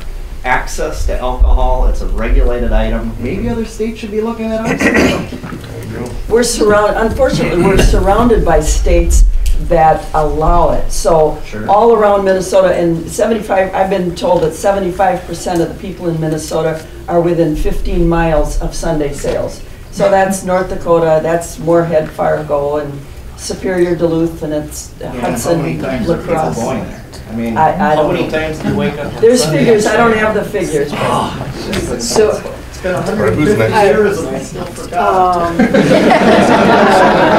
yeah. Yeah. So I, you know, two years ago, I didn't care, and the only people I heard from were the liquor stores. In the meantime, I've been hearing from people, and our survey has a small majority, well, a small majority in favor, and about a quarter don't care, and a quarter against. Again, it's small numbers, so it's an ongoing, com- but I agree about the grocery store thing. This Thank you, guys. gentleman, right there, red tag. Uh, Seniors and taxes. Yes. Uh, We're probably losing 10 to 15 percent of our seniors that are leaving Minnesota and heading to other states with lower taxes, maybe a little warmer climates and a few other things too. But we also, the state with probably the healthiest uh, state in the nation, are right up there every year. United Health Foundation, others have published these types of things. We need to keep Minnesotans in Minnesota. And if we could cut income taxes somewhat, keep these people here, make, if people are looking for a lower cost of living, we have outstate communities that certainly have lower cost of living. I am I'm signed onto a bill to remove uh, the income tax on social security, and I'm dropping a bill uh, next week that's going to uh, offer a tax credit to people on fixed income under a certain amount that matches inflation every year. So what does that cost, though? I mean, I'm, I'm always the one that, I'm so excited because we balanced, we balanced the budget last year. I just am so excited. We quit borrowing money, we quit borrowing from the schools. In 2011, they balanced the budget by borrowing $650 million. I don't want to ever do that again. So last year, we balanced it by raising taxes on the top 2%. We have a balanced budget, a little bit on the bottom line. I, I hear all of these things, and I, I, I'd love to give everyone a break, and I'd love to pay for everything. We have to balance the budget. I, I run a business, I know how this works. You take the money in, you, you spend the money.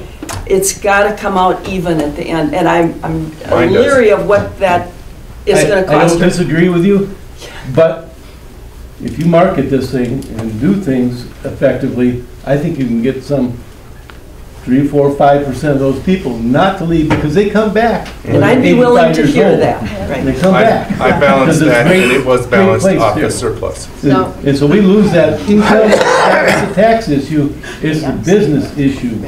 And if you don't buy your car, you don't do anything here, you lost the economics of that. So if you can get some of those people to stay, and stay in this state, and use them as volunteers and everything else, we got a better, we got a better state, and we might not lose a US representative.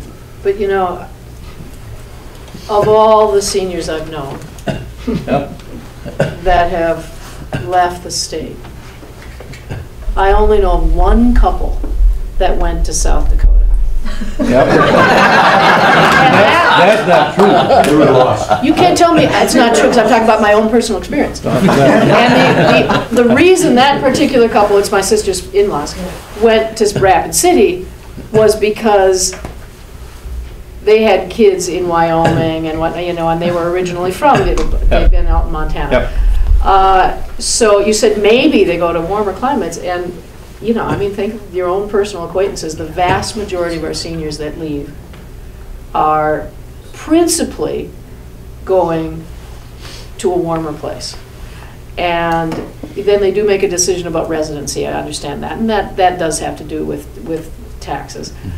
But um, I'm actually more concerned about property taxes for seniors than I am about income taxes for seniors, because if, um, if your circumstances change, your income taxes automatically change.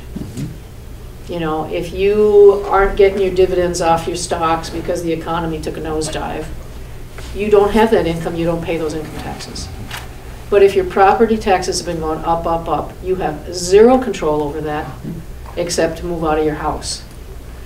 And so I'm, I'm much more concerned about uh, property tax ri- increases that we've had than I am about income tax increases for our seniors, in particular because the seniors I'm the most worried about are not paying a lot of income tax.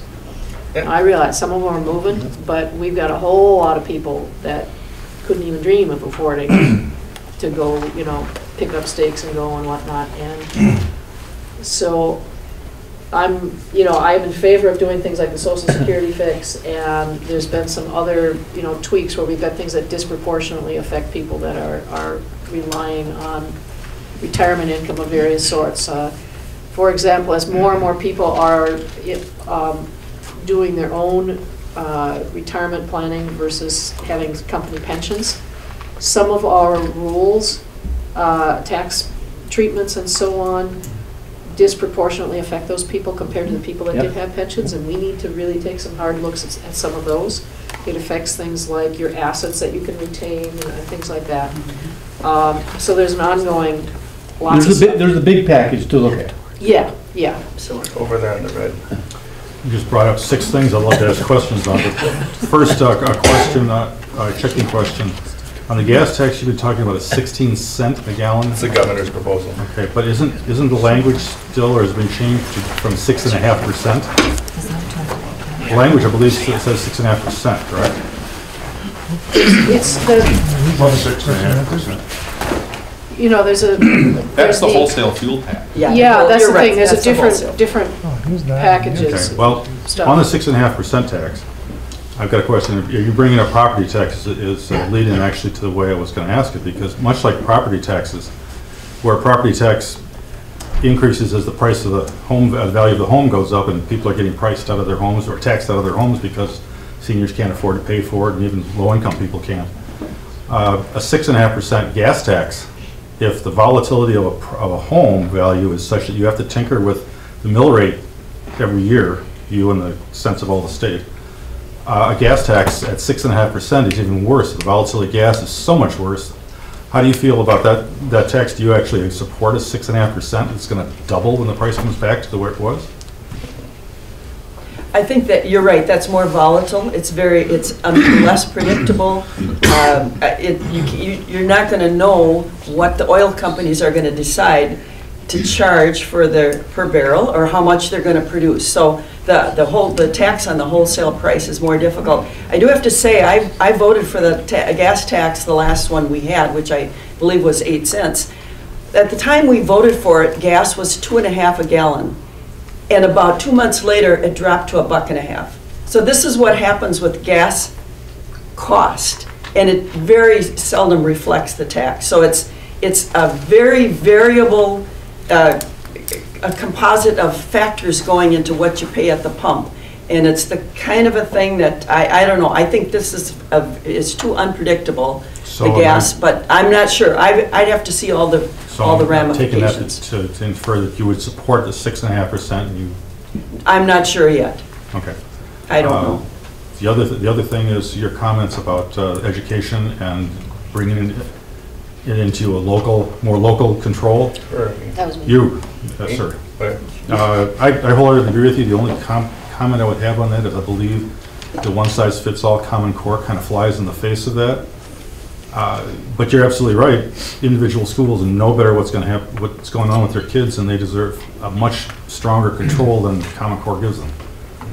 Uh, Just a comment, I guess, not really a question for you. but- Well, and, and to um, clarify a misconception, Common Core is not a curriculum. It's um, a set of standards. We, we have standards, Minnesota standards for all the subjects. Um, We've adopted the Common Core standards for English, uh, language arts only. We didn't adopt them for science, uh, excuse me, for math, because um, Minnesota standards were higher than uh, those Common Core standards. But it, it doesn't, it's not a set of textbooks, it's not a curriculum, uh, you know, it's, it's objectives. Uh, And it's, at this point in Minnesota, it's only for English language arts. Um, In the front here, question. Yeah, he said so. Thank you. My name is Ed Etner, I'm living in Roseville. I wish you well with your Simbisk. I've also been through Simbisk on other things, no. Yes, I may be soon too. You know, there's many things I'd like to talk about, taxes being the, the number one.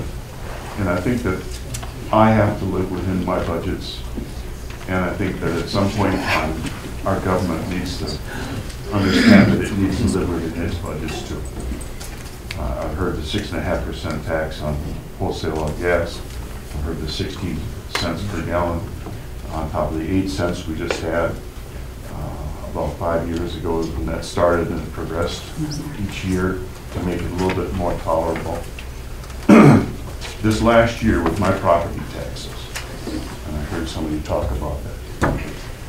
uh, Year to year, no changes in my home, just year to year, my taxes went up thirty-four percent, just shy of a thousand dollars. And I, I go back and, look at this and I say, what happened? They said, well, my property valuation went up. I bought my home four years ago.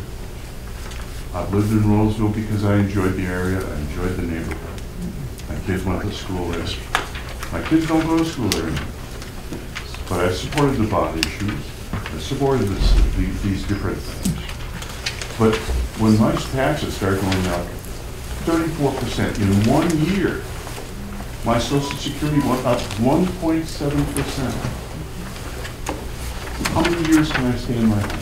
Did did you go to that, I think, I think we corresponded We about this. corresponded, and, and so did Ms. Did you go, I mean, it was- I can't remember the dates of your open book Right. meetings where you can present this to the Right. Ramsey County assessor. I got my notification in Right. November. Right. The dates for for discussing this with the state were April and May of last year. But you have a So chance six months s- prior. Now, I can go challenge in Yeah. April May of this next Yeah. year for 2016. But I can't do anything about now unless I want to go sue the state. No, can I, can I just interrupt on this? You, uh, you're absolutely right, and, there- and and all respect to, to Mary Jo, uh, something's wrong in Ramsey County. I have had, I have had citizens come to me where the, the value of their property has increased at a rate that is absolutely ridiculous in ways that don't make sense, and the worst part about it is it's not consistent. So I see some places where folks are actually, by and large, in my district, most people saw a tax decrease in their property taxes. But, but, let me be clear about something, but there is a certain segment, especially, where are we? Right over here, no, over here, down this way, where uh, we had some folks, I- well, I'm not pointing at Snail Lake, wherever Snail Lake is, uh, we had some folks, It's over here, over the- we had folks that saw drastic, ridiculous, double-digit, huge increases in, in their property taxes. And, and so I'm asking our legislative auditor to audit Ramsey County uh, and figure out why that's going on, because we have a real problem with, and, and I, again, don't mean any disrespect to my, my lovely friends over in Ramsey County, but, but I have so many folks from so many different walks of life coming to me saying that their property taxes went up in a ridiculous way. Uh, that, and, it, and it all seems to be the common denominator is whoever is valuing their property. Uh, the most ridiculous story I have is a couple that bought their house, they got evaluated right afterwards at 100,000 more than they bought it by the county. And, and that doesn't even make sense to me how that's possible. And so I am definitely still on, on, on fire for that issue and, and it needs to be fixed because, um, well, for obvious reasons. So I just wanted to let you know that that's still right here. I, I, I appreciate that, I truly do. And I'm told that if I go back and on my taxes, I can get back sixty percent of the forty percent over twelve percent. What kind of a jockeying a formula is that? Well, everything we can do to keep you confused has been the plan, I guess. Getting too smart, so. I just gotta say one thing. I mean, I don't, I welcome the audit. I mean, absolutely. We, these values and these prices on our taxes, it's a huge issue for us. We kept our levy at zero, and but pet taxes went up to, to many people. So it is formula, it's also valuation, and people do need to, do need to, um, you know, question their valuation at a time when they don't think about it. You know, you have to question it now in March, not when you're paying it, when you get your tax statement. And we need to be way better about letting people know that. So we are very concerned about these valuations. Believe me, we are hearing it loud and clear about these valuations going up. I welcome an audit to find out what, if we're doing something we should be doing differently. These, these valuations are, are really hard for us because we, we can't, you know, keep our, keep a limit on these taxes because just even by having zero levy, they still went up because of a lot of this, you know, Zero levy, valuation. thirty-four percent. Exactly, right. Fifty thousand dollars in my. I think the problem isn't at that level, it's at the lower level. I understand. We welcome, we welcome the audit, we welcome hearing from you. Look at your tax statements. Let the county know now when you get them, whether you think that valuation is bad. We need to hear from you so we can rea- readjust those values. Yeah, Thank you know, you. people don't always understand that. You get, you get your notice of your current appraised value. Yeah. And then you get your notice of estimated taxes based on that appraised Page value. There's a really, lo- well, but it's not even the same document because there's a very long lead time. So the, you get, they, they redo all the assessments and then they figure out what the budgets are going to be. And then they get these proposed tax amounts. And then those get approved after, you know, this hearing and that. And then after that, you get the tax, okay? So the first time you actually get a bill for this is a long time after you saw that appraisal. And in the meantime, you've lost your window of what you could, when you could do something about that appraisal. Exactly. So when you get your appraisal statements, and it says this is not a bill, you still need to worry about it. So we get a call, get some more questions. Young gentleman over here that has a question. Yeah, um, I don't mean to backtrack a little bit, but I, it was so thought-provoking with what we were talking about education here. Pardon me if I'm repeating myself, but, um, as I was skimming over the paper recently, I was seeing that there was like some bipartisan support in education reform for wanting to give like more consideration to like teacher performance, so then like tenure wouldn't be like, you know, like a hundred percent guarantee, guarantee factory. You know what I'm trying to say? I was wondering like where that's at in the legislature right now and where you stand. So I'm on the Education Policy Committee.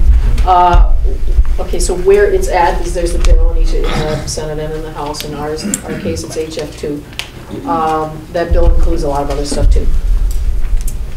Currently, uh, what the law states is that if there is not an agreement to the contrary in the district, then tenure is the default determinator for order of layoffs. Um, Many districts, I think it's forty percent of the districts or something, have something other than that negotiated. We have a new teacher evaluation program that is being implemented now. It uh, has been in the works for quite a while. It's, you know, been going through a number of different iterations. It's different from, there was that QComp program in the past. This is a, a different system. If people were doing QComp, they continue to do that. Um, But it's just rolling out, because it just finally got funded. It wasn't funded before this. So my, one of my concern would be that we, if we switch to relying on that, it's not ready, because it's not, it, it hasn't even been rolled through the districts yet, they're still working on it. Sorry, can you And- clarify your pronouns? If we switched to relying on, the state, if as, a s- if as, if we change the law so that the default was not tenure, but it was dependent upon this teacher evaluation program, the teacher evaluation program is hardly even in place yet. It hasn't been used for a whole school year yet. Districts are still working out the kinks on it because there's a certain amount of local control on how you implement it. And we have zero evidence that we have a reliable system in place to actually identify, you know, which teachers are effective or not, because there's a number of, you know, little kinks that are, that potentially need to get worked out with it. Um, And districts already have the ability to negotiate something else that would include it. One of the, the sticking points on all this is one of, the- you know, we want to evaluate teacher effectiveness, that's going to have to rely to some extent, obviously, on assessment of kids. Do we have reliable enough measures of that? And how do we avoid penalizing teachers that happen to get a, you know, a set of kids in the room that uh, will test poorly for whatever reason? Now, one of the things we did about that was to include some longitudinal measures. So you actually are measuring how much progress did you make with that kid that you had in the classroom? So that you can show that you've done something for the kid, even this, if this is a kid that tests poorly, for all of the many, many reasons that kids might test poorly. That also, we've, we've got a little bit more history on than we do with the teacher evaluation program, but we're just starting to get that into place. So I think we're not ready to make that big shift in policy. You know, and that's gonna be my argument in committee. We haven't, we haven't even heard the bill yet, so, you know, we're not even making those arguments yet. Right, yeah, but just then, like, lastly, I'll just close, like, for the sake of discussion, and, um, and I don't mean to take too long, but I was thinking that perhaps, like, to be realistic, it's not like, I would never say that, like, tenure should count for nothing, but for the sake of, like, you know, fresh, you know, teachers out of college, and if they're really good, we wouldn't want them, you know, to be, you know, thrown aside just because of their, you know, lack of seniority, you know, for their sakes and for the kids. Can I, can I just be blunter than Barb? I'm gonna be blunter than Barb. The reality of this situation is, is each district has the opportunity not to have that be their situation. So it, it's not like we're out here enforcing this tenure thing and they have no choices. Each district could get opt out of that. If they want to negotiate that with the union, which they've done forty percent of the districts across the state. So the idea that this is a political issue, while I think there's a kernel of truth of something that needs to be addressed, it's being framed as if the teachers union are just mandating this down on the state and we're all stuck with all these really bad old teachers. Well, if that's the case, and we needed tenure to get rid of them, there's many other systems in our school districts that are broken then, right? So the reality of a bad teacher needs to be addressed and how we do that regardless of how we do tenure, because we should be weeding the bad teachers out to begin with, right? And so the, this tenure issue, we then gave an idea that she talked about with the, with the governor's plan, and then the next year, the Republicans came back with a bill that acts like that doesn't exist. And that's a little frustrating. If we have a plan that we agreed to bipartisanly, we should see if that works before we start announcing other plans that would fall, fall over the top of it. So that's, uh, while I don't disagree with the spirit of your, art- of your statements, I think that there are some politics being played there that are really frustrating to hear. Sorry. Barb. And Barb wants to finish it. We're trying to hear from people, and you're asking us questions that take a long time to answer, so. And we don't agree on. Well, But, you know, exactly. so- But this is what reflects, this, this, our district is really thoughtful, okay? Other people, this is not their experience when they have their town halls, you know, they get yelled at and whatever, and we have this like great discussion with people. really do. So, we do. you know, the other thing, the other piece to this is I think that this is, this is attacking teacher, well, I don't mean to use the word attacking, but in the sense of trying to problem solve, okay? It is. This is, is- this is an attempt to deal with the issue of teacher effectiveness and teacher quality on the wrong end. You know, I mean, many of you, if you're in small business, you know, you don't, you don't wait until you're having to trim your workforce to deal with people that don't perform. And so school districts already have tools to deal with people that don't perform. In the first place, every teacher is on a three-year probationary period when they're hired, every new teacher. And if a person has gotten past that three-year point and they don't know how to teach, that's the principal's fault. Or his soup, or somebody, or whatever the system is in their district for hiring and firing. So nobody should get past that three years that doesn't know how to teach.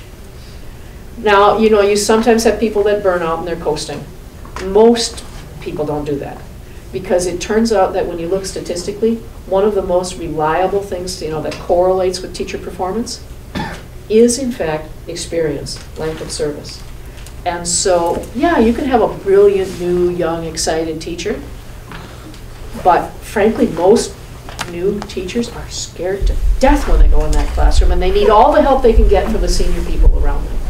Okay, you don't walk, hardly anybody walks out of college and walks into a classroom as a stellar teacher, like they're going to be after they have that experience. So I don't think, you know, layoffs is the right time to be dealing with performance inequality. Yep. We need to empower our districts to, you know, put, and this is what the teacher performance thing does. It puts people on an improvement plan.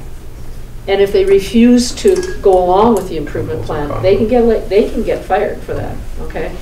So school districts are, have and are getting more tools to deal with teacher quality in the course of someone's career. And I don't think that because your population is shrinking, that that's when you should be dealing with your teacher quality issue. And frankly, that does nothing for the districts that are gaining kids or holding steady, which is actually where Mounds View is kind of. So is there somebody who hasn't spoken? Way in the back. Yeah. Okay, way in the back, way in the back by the window. Yeah. Um, uh, I was a teacher in, in Wisconsin, and, you know, I understand what you're talking about with teacher quality and everything, but, and the scores and all that, but I will tell you this, uh, teachers are there and they're trying to do their job and, and serve the, the, the families and the students. But they're also being told what they're supposed to do and how they're supposed to do it, and it changes almost from year to year. And you kind of have to keep what you know works, and, but you constantly get, well, now we're gonna do portfolios for every individual student. Well, now we're gonna do this plan. Now we're gonna spend hours writing up all this stuff, which takes away from your work with and for the students, okay? So, and then another thing is, uh, in my class, because of of a background in education, I would get more students that needed, that were special needs. And if you compared my class with the class exactly in the same grade, you might not find the s- same outcomes.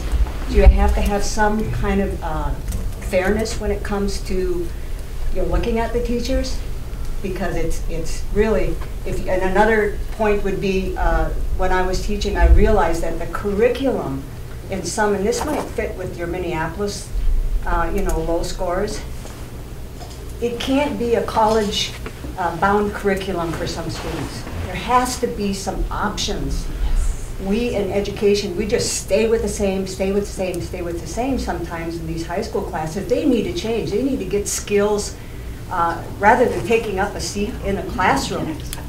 They need to get something that's offered them that they can actually go out and get a job with.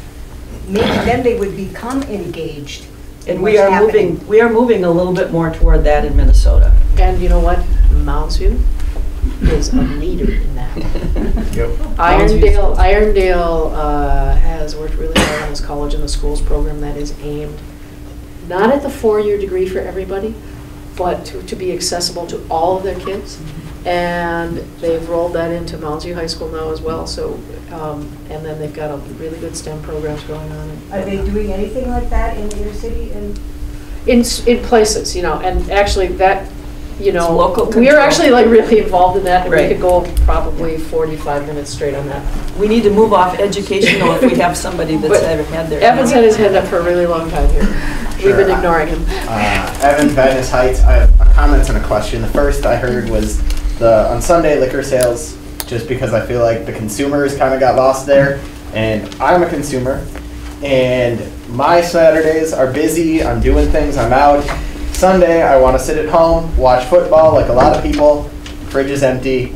I'm going to a bar, and my friends are going to bars, and everyone I know ends up having to go to a bar because there's no access, even though I live within a block of four liquor stores. And so you're forcing me to drive, I'm spending less, and this is a pattern. And then you're putting those who can't control their drinking on the road. I'm not going to Wisconsin because I'm not going to drive that far. I'm going to a local bar. I, I think there is a big opportunity here that we're missing. And, and I hear the liquor store's argument, but I think there's just as much argument from the consumers that we would buy more and be there on Sundays. And having lived in a state where I could buy liquor on Sundays in Maryland, it's a, it's a help. It's a lot of money that they're missing out on that, that and a convenience we're missing out. So how many people in this room would like us to vote for liquor sales on Sunday? Raise your hands. As a separate issue from the grocery store sales? Yes. There is no bill Yes. that we're aware of for growth, just Okay. to be able to purchase off sale on Sundays. How many would like us to vote no? And then how many don't care either way? None of the above wins. No, we don't wanna Actually debate. makes more between money the for the state because the cost per drink in a bar, the sales tax on that money. He's right. Uh, is more to the state than, than buying it. than buying it. I, I, but, I, wa- but I actually have a question for you too. I just Oh. wanted to add that comment in. But my question's actually on pre-K. Because I know the governor, and I know you said you want to move off education, but I think this is such a bigger topic that we've missed. Uh, you know, I have a lot of friends who have young children, uh, who are having kids that are getting ready for preschool and pre-K stuff, and they have good jobs and can't afford it. And they're saying it's just as much to send my kids to preschool and, and stuff as it is to pay my mortgage, to pay back my student loans. If I have to choose between what I'm doing, it's a very big struggle for them to pay for that and deal with that. And so I know the governor's proposed it, so can you talk a little bit about where you see that going and, and what you're gonna do? I, I have to first say, I have two little granddaughters in Florida. In Florida has uh, all-day kindergarten for about seven years now, and free pre-K for about seven years. So they're eight and 10 now. They were able to take part in that, and their chancellor of education in Florida is trying to be like Minnesota, and they figured the way they're gonna raise their test scores is by having free PK. Pre-K, they call it VPK because it's voluntary. Nobody has to do it if you don't want to. But it's amazing what those kids in Florida are starting to do compared to what we've been funding in Minnesota. And they are thrilled. In fact, their chancellor at the time uh, was Cheri Pierson Yecke, who used to be our education um, commissioner here in Minnesota. And she moved to Florida, and this is how she felt they were going to get up to Minnesota standards. So anyway, what were you going to say? I've got mixed feelings about it. Um, You know, I mean, there's, there are people that argue that um, this might be better targeted toward the families that need it the most. Uh, On the other hand, when you have universal access, you know, you, you pull in people that might otherwise not take advantage. Um, And one of my concerns is we just did the all-day K, and the school districts have just coped with that and figuring out their space requirements and everything, so uh, mixed, you know, um, so I'm, I'm not, I'm not certain, I'm gonna- gonna see what it looks like in the end, and I'm gonna hear a lot about it in committee, so I don't have to make up my mind until I do that. Yeah. There are social concern, or political, financial considerations based on what the school's capacity is, and we'd have to figure out a way to match that at some point. Uh, The research is absolutely definitive that kids that are in pre-K score better and do better than kids that didn't go to pre-K. And if you want to talk, oh, absolutely it is. That is Yeah. not true. Fundamentally, there's no question about that. No, that's not. So we could disagree about that if you want to, and we can talk about that later, but the- the reality is, is kids that have a, a, a beginning, if you're talking about Head Start programs, we can go into that as well, that discussion, but I, I support uh, voluntary uh, pre-K as I support any kid having an opportunity to go. Now, uh, let me be clear about that, I don't, I would never want it to be mandatory, and I think that if a family wants to do it on their own or homeschool, I, I support that option as well, but I think there's got to be some support for kids to have as early uh, exposure to education as possible, because that, that, that is always a positive for us. Um, Wait, uh, the man in the blue in the back. Me? Aren't they pushing for all-day kindergarten though? Isn't this a federal top-down thing under Common Core? We have all-day kindergarten in Minnesota. We did that. uh, How do you guys feel about Common Core, each of you?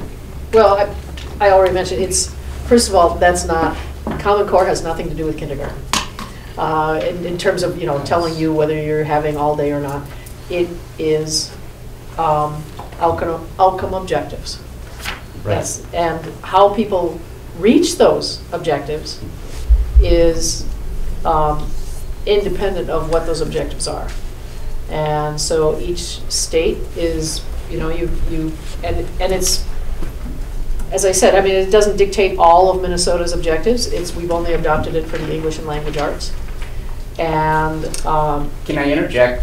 Um, you- You're correct. Minnesota accepted the, uh, they didn't accept the math, but all the schools, including the Catholic diocese, are heading towards the math curriculum in Common Core. there is no curriculum in Common Core. Um, Well, there is, there is. really It's objectives. It's learning objectives. And Isn't that curriculum? No, that's not a curriculum, it's not the same thing. To Your curriculum is, is, well, curriculum is how you teach. I've seen how you examples of Common Core curriculum though, especially in the math. It's kind of interesting. Well, The some people are putting, some people are publishing curricula Yeah, gonna meet about it those when it's my turn. objectives. Yeah, I got it. But the, the Common Core was a set of objectives that was developed uh, by the National Governors um, Associ, I don't get my acronym completely right with them, but by the, uh, uh, an association of governors in the country. It was then, after it was formulated, it was adopted as a model set of objectives, you know, like, hey, this is a good thing, by the um, federal education people. But it wasn't dictated to the states that you have to do this. It was an example of, this is how you could. top, This is how you could have objectives. And so we weren't required to adopt those, and so we, you know, as I said, we only adopted one- the English and we didn't adopt the math. And we're not penalized in any way for not having adopted the math. Um, People can put out a curriculum and call it a Common Core curriculum because it meets the objectives. But that doesn't mean that anybody is being forced to use that particular curriculum or not. And um, even individual Minnesota school districts are not dictated from the state what curriculum they need to adopt or not, which is different from some states. So you've got states like Texas, where the state approves the actual textbooks that are used in the schools. We don't do that in Minnesota. Each district makes those decisions on their own. So not only is Minnesota not forced to adopt a curriculum associated with that, and we have not, we don't even have the ability under state law to adopt a curriculum and tell the districts that they have to use it. But I think most schools have. I mean, most schools I go to, I, I hear Common Core. Well, they call it something else. And there's a, the, the world's best workforce is the consummation of Common Core as well. That's, that's what's going through the schools right now. That's simply not true. That's simply not true. Simply not true. I, uh, was I there for the disagree with you. Well, How is it as a in, in what way, in what way does an English an English curriculum objective. Um, Create a policy that says that what you're gonna do is work with kids as they move from the eighth grade through the 12th grade on what their own objectives are and where they would like to see themselves end up in their career or their college, and help, and provide assessments for them that will tell them whether they're on track to be able to do that. I don't see how that's dictated by an English language objective. Okay, we want, we- we've got to sort of wrap up. I don't I don't want to talk about it, but We just talk This is my concern, and, and and I've emailed probably all of you about Okay. this, and I will Thank you. continue. Did you want to? Yeah, the Common Core thing is really interesting. uh, We're after 11. The the Common Core thing is interesting because it's been uh, a a bunch of well-meaning parents who are very concerned, rightfully so, about how we dictate education. And then it got hijacked, uh, in my opinion, by the far right as a political tool to beat up on schools and question how we do things. There are very legitimate concerns, though, that Common Core brings, for- the questions that people against Common Core bring forward that I agree with. And I co-sponsored bills that would have created a firewall against a lot of the data privacy issues Common Core would have uh, with Jim Abeler last session. Uh, But I want to be clear that um, in terms of, of- of, of this idea of adopting a standard, the, the whole focus being we're just going to work with consensus so we have transferable educational systems across states wasn't a bad idea altogether, but this idea that we're going to be dictating curriculum and anything that would be less than our own, I would have a problem with. I think that Minnesota should continue to set the standard regardless of what's going on with Common Core and have our standards be higher, and we got to work on that. And so uh, I, I'm sympathetic to what. I just argue that be careful because there's a lot of things out there that are being said about Common Core, like it's a federal curriculum, that it's being uh, mandated by the federal government when really it's a state's pact and that's a really important distinction that's coming. Uh, It's being uh, uh, supported in some ways by Obama using No Child Left Behind, which was a failed policy, but the idea that we have to uh, be mandated by the federal government, that part doesn't reflect reality, but other parts of it that I'm concerned with, I'd love to hear from you on. You know, tonight. we're past 11 o'clock, and I'm thinking we could stay here all day. We do have to give up the room, and We so do. we have to clean it up. And I would like to say that we, we're so thankful that you're all here, and I would like you to hang out a little bit if you have individual questions to talk to us. Barb has a meeting somewhere else. Okay, one small short. The train horns. He's From working on 10 at it. night Right. till 7 in the morning, there's a sign a mile from my house that says, "No train horns." Yeah. And it's right there by Rice, it goes all night long. There are two, there are two quiet zones that are supposed to be in place, and then there's seven that are not in place yet, and I am going as fast as I can. I met with the commissioner's department. I've been beating up on them all the time. I'm, pounding that home. We can't, do that. That's one of those things we can't regulate. We, can help a little. Thank you, thank you for coming. Guys, I appreciate you being here today. It.